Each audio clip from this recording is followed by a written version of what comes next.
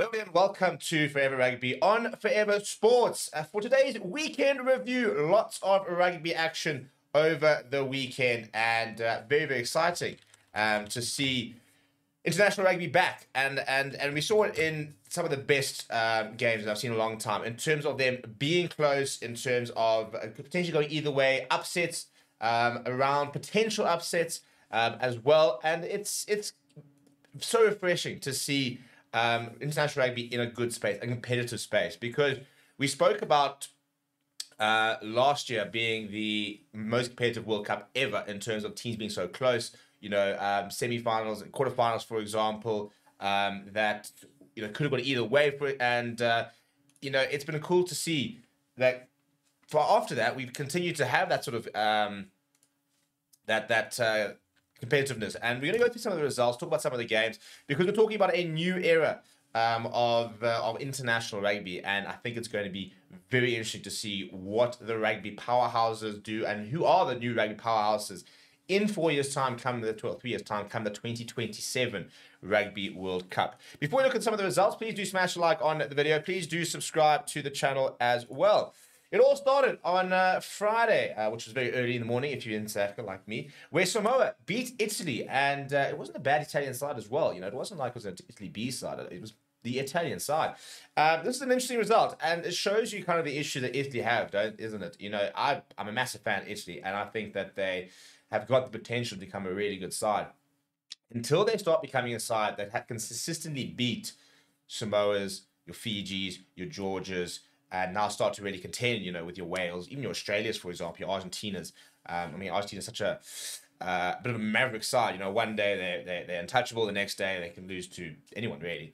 Um, but um, that's kind of the issue with Italy, with Italy rugby. But Samoa, who's really got, I think, for three years to really step up, very interesting to see how the eligibility laws um, you know, we saw so many much um, players returning back to playing for like the likes of Samoa, a Fiji, for example, a Tonga, and lots of stars returning back to their sort of their, their, their, their countries of origin or countries of birth even at some time. So that's a very cool result to get the weekend over. Um, Fiji beating Georgia 21 points to 12. Georgia continue to be competitive, and, and I'm really hoping that they take some big steps forward in, in the coming years um, because we want to see rugby in a situation where, yes, there will always be your four to six, hopefully eight teams which are like in the top of the world. That's kind of what we see in football. You know, we see like eight teams, but there's very little between them. Um, and we want to see more of that. You know, what? you want to see all six nations being strong. You want to see all four nations of the rugby championship being strong. You then want to see a Fiji being strong, a Georgia being strong. Um, and, and so when it comes to World Cups, you know, it's not, you know, a foregone conclusion that we know who our quarterfinalists, semi-finalists are before the tournament. And the likes of Fiji, Georgia, Samoa, even in Italy to a certain degree, their progression is very interna- uh, very important. Uh, it was a women's international game yesterday. Australia beat Fiji 50, 64 points to five. Um, that's always kind of the issue when it comes to these tier, tier, tier two nations. It's from a funding point of view as well. Women's rugby is going to take a long time to catch up. We're having the same issue in, in, in South Africa. I mean, our men's side is the best team in the world. Our women's side, you know, has to punch above its weight. But at the moment, having to do a whole revamp of it and uh, be interesting to see how women's rugby itself, which is really posed to explode over the next few years, um, is is going to go. Um, if we look at then uh, USA going down to Romania, kind of almost a bit of expected result. Romania looking to try and kick on from their World Cup last year. New Zealand be- beating England by one point. This is a game that could have gone either way, and uh, a game which I think a lot of people are going to look into quite a lot. And I think it's going to be a very interesting to see compare this game to next weekend's game. It was the first game under Scott Robertson, and it kind of looked like that. At times, New Zealand looked very much like the All Blacks of old. Um, but at times, England, you know, were on top. And a different day, Marcus Smith laces up a different pair of boots and gets his kicking boots on. Um, England win that match. So it was almost a nightmare start for Scott Robertson. Um, he has gotten away with it, but uh, England will be kicking themselves because it, the All Blacks were there for the taking. The mark of a good team, though, is to be able to win when you don't play well. I always say that, and I think that's what kind of New Zealand did. Not that they didn't play, not to say that didn't play well, but they could have been a lot better. And very interesting to see the improvement we might see in a week's time. I also think Steve Borthwick will be very happy looking at his England side and seeing progress. I think they are starting to play better rugby. Um, I think Marcus Smith yesterday just, just wasn't really on it with his uh, for, for, kicking for poles, but generally his, his, play in general wasn't bad. Um, Chandler himself is a proper, proper player. There were a couple of nice performances yesterday from from the, the, the English lads, but uh, generally that New Zealand side will look at that and go, mm, and that's not quite the standard we want to be at.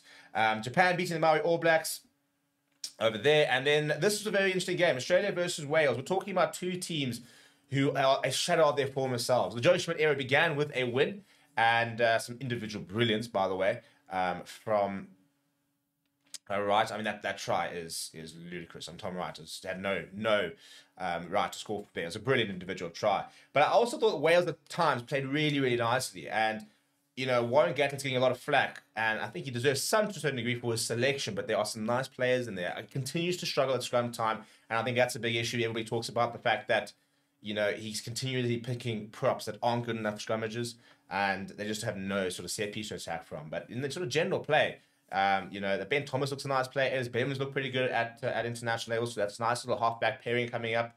Um, you know, I think that the centre pairing is going to take a bit of time. I think Mason Grady will take time to adjust, but I think he's going to be a special player. Um, Liam Williams continues to be great.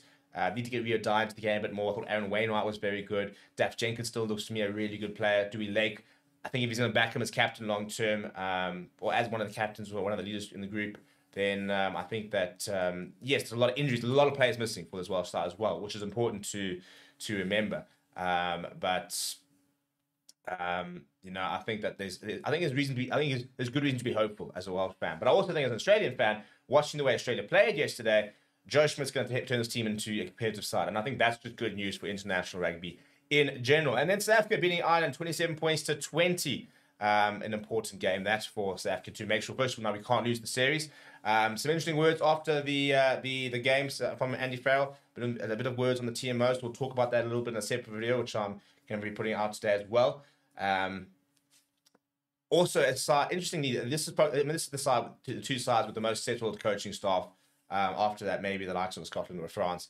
Um, but yes, there are some new additions to the South African coaching staff, but I'm very settled. South Africa, Erasmus, there's one Deon Davids, Daan Human, bulk of the coaching staff still very much the same.